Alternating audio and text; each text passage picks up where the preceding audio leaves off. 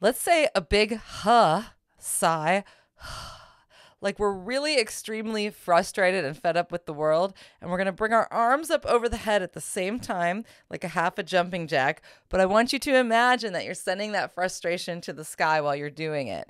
Let's give it a shot. And don't forget to be vocally warmed up before you try to do this. Here we go. I'll try, then you try. now you. Good job.